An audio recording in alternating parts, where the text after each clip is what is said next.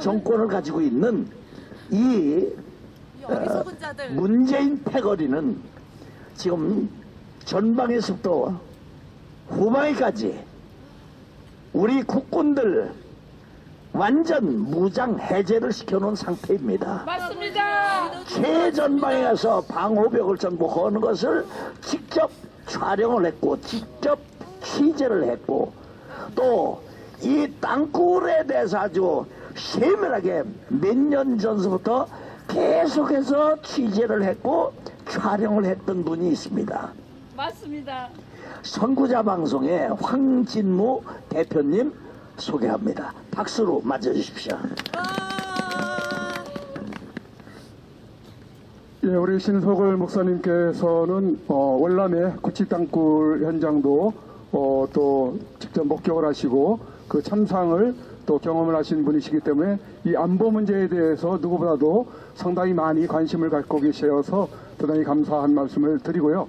어, 저 같은 경우에는 2014년 무렵부터 어, 지금 땅굴 현장에서 땅굴 탐사대들하고 같이 활동을 하면서 촬영, 어, 촬영을 해서 계속 우리 국민들에게 알리는 그런 역할을 해왔습니다.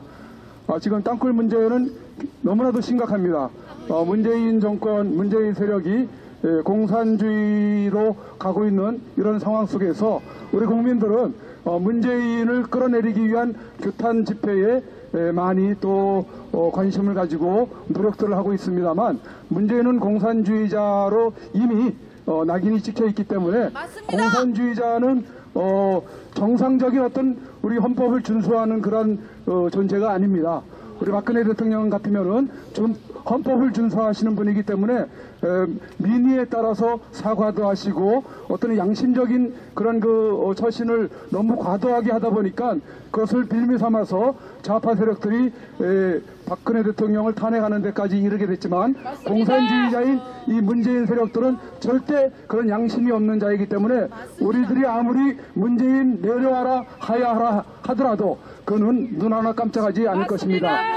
그러는 사이에 북한 세력들은 지금 땅속으로 계속해서 대한민국을 점령하기 위한 그런 작업을 해오고 있는 것입니다. 그런데 여기에 모든 국민들은 지금 눈을 감고 있습니다. 정치인들 지금 길을 막고 있습니다.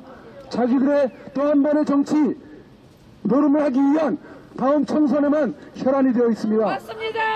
지금 전방에서는 우리의 젊은 아들들이 철통같이 철책을 지킨다고 있지만은 사실은 이미 오래전부터 땅속으로 대한민국 김프기까지 땅굴을 파고 전명에 들어와 있습니다. 맞습니다. 그들의 철책을 지키는 것은 헛되이 지키고 있는 것입니다.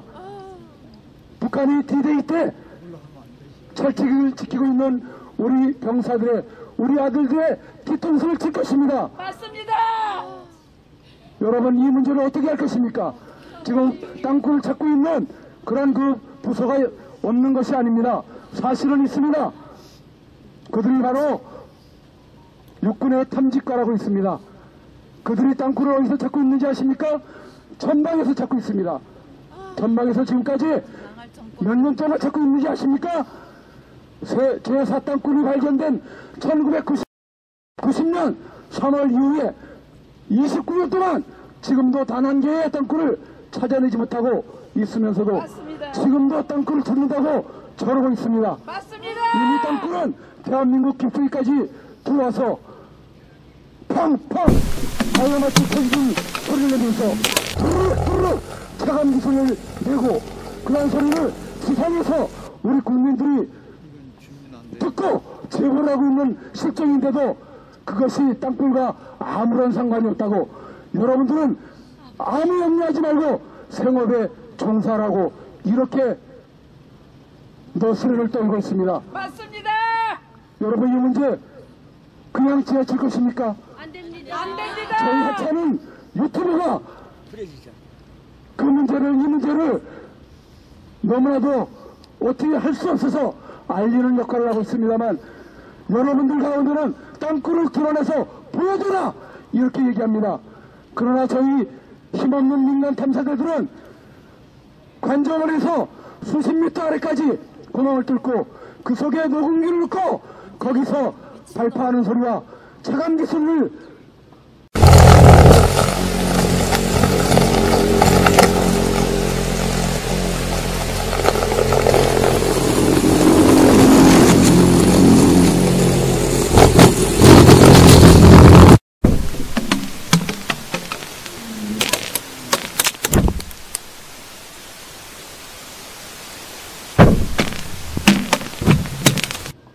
제출해서 여러분들에게 공개하는 것까지 하고 있습니다. 더 이상 어떻게 하라는 말입니까? 안 됩니다. 이렇게까지 들려줬는데 이렇게까지 공개를 했는데 더 이상 어떻게 하란 말입니까? 안 돼! 이거는 국민들이 나서셔야 됩니다. 여러분들이 침묵하면 대한민국은 이제 내일 모레 땅속에서 그들의 무리들, 붉은 무리들이 올라오는 것을 목격하게 될 것입니다. 계속해서 이 문제를 외쳐주시고 이 문제를 더 많이 알릴 수 있도록 전국에 계신 우리 국민들은 많은 제보들을 우파 유튜버들에게 제보해 주시고 저희 선구자 방송이나 남친 댓글 탐사대에 제보해서 많은 국민들이 알 수 있도록 해 주시기 바랍니다. 더 많은 말씀이 드릴 말씀이 있지만은 시간상 여기서 약하기로 하겠습니다. 이상입니다. 예, 감사합니다. 감사합니다. 제 18대 대통령에 당선된 박근혜 대통령은 51.6%인 1,500만 여표로 대한민국의 최초 여성 대통령이 되셨습니다. 부친 박정희 대통령의 정신을 가지고 대한민국과 결혼했다고 하는 그는 오직 대한민국만을 바라보고 국정을 해 오던 중 온갖 불의한 세력들에 의해 탄핵이라는 어처구니 없는 불행한 사태를 맞아 지난 2017년 3월 31일 서울 구치소에 수감되어 지금까지 옥살이를 하고 있습니다. 시간이 지나면서 박근혜 대통령의 결백이 알려지고 있는 가운데 분노하고 있지만 정작 박근혜 대통령께서는 구치소 안에서 홀로 꿋꿋이 투쟁을 하며 3년, 30년, 300년을 구형하던 불의한 재판에 타협하지 않고 계십니다.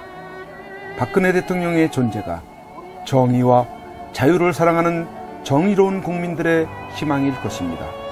하지만 오랜 기간 동안 구치소 생활 가운데 정신은 강할지라도 육신은 쇠약해져 계실 것입니다. 이에 여러 국민들의 도움이 절실히 필요합니다. 그것은 바로 엽서와 서신 보내기입니다. 지금까지 엽서 서신 보내기에 동참한 국민들은 약 15,000명 내외로 보여집니다. 이는 박근혜 대통령을 18대 대통령으로 선택해 주신 유권자 1,500만 명의 0.1%에 해당하는 아주 적은 수치입니다. 대통령께서 더욱 꿋꿋하게 버티시게 하는 힘은 국민 여러분들의 관심 어린 서신입니다. 아직까지 동참하지 못하고 계시는 국민들께서 적어도 10% 정도인 150만 명은 엽서 서신 보내기에 꼭 참여하셔서 대통령을 다시 볼 수 있을 때까지 이 일에 함께 해주시면 좋겠습니다. 매일같이 산더미처럼 배달되는 여러분들의 엽서 서신을 통해 대통령께서는 크게 힘을 얻게 될 것입니다. 참여하는 방법으로는 선구자 방송에서 발행한 엽서를 주문하여 보내시고자 하시는 분들은 선구자 방송 연락처 010-2507-4861에 문자로 여러분의 성함과 정확한 집 주소와 엽서 수량을 적어 주시기를 바랍니다. 엽서는 지금까지 1차 9장 1세트, 2차 9장 1세트, 3차 엽서 9장 1세트가 발행되어 있어서 주문 시에는 각 회차당 몇 세트인지를 표기해 주시고 엽서 대금은 세트당 만 원을 농협 360-02-140-392 예금주 황진무로 입금해 주시고 문자에 엽서를 주문해 주시면 되겠습니다. 그리고 별도로 서신이나 문구점에서 엽서를 이용하시는 분들은 서울구치소, 경기도 군포시, 군포 우체국 사서함 20호 수용자 번호 503 박근혜 대통령 앞으로 보내시면 되십니다. 선구자 방송에서 발행한 엽서는 박근혜 대통령의 모습과 뜻깊은 사진으로 제작을 하여 그 의미를 가지고 있어서 박근혜 대통령께 더욱 감동이 전달될 것입니다. 지금까지 3차에 걸쳐 발행한 엽서는 다음과 같습니다. 보시고 꼭 엽서 서신 보내기 150만 명 10%에 동참하셔서 훗날 참 잘했다라는 긍지와 위안이 되시기를 바랍니다. 내가 가는 길이 험하고 멀지라도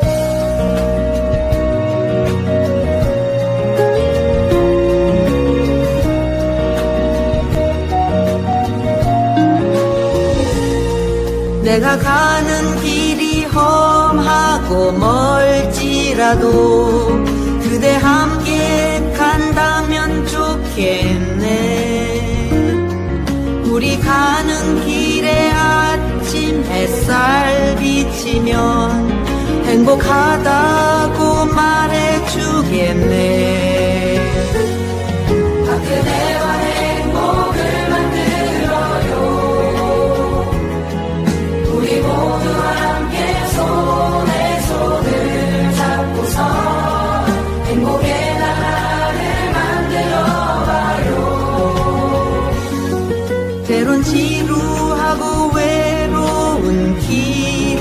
길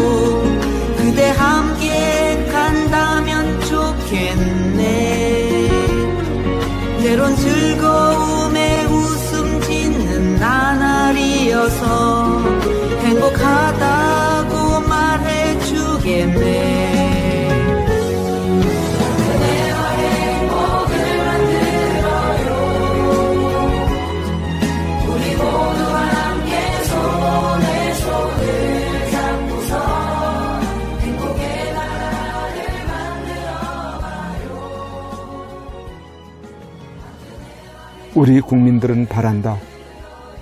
부디 대통령님께서 강한 정신력으로 버티시고 건강을 유지하셔서 반드시 복귀하시고 형편없이 무너지고 부패하고 비리 공화국이 되어버리고 빨갱이들로 점령되어 버린 이 땅을 기경하여 다시 씨를 뿌리고 옥토로 만들어 다음 통일 한국을 일구어갈 나라로 만들어 주기를. 왜냐하면 박근혜 대통령님만큼 깨끗하여 믿을 만한 사람이 없기에. 국민 여러분의 행복이 곧 저의 행복입니다. 사랑하는 국민 여러분, 저 박근혜는 이제 내려가야 한다. 내려가기 전에 대통령님께. 이렇게 외쳐본다. 박근혜 대통령님 옥체를 보존하십시오. 대통령이 되겠습니다. 보내드리는 엽서를 통해서 힘을 내시고 대통령님의 결백이 밝혀질 것입니다. 멀지 않았습니다.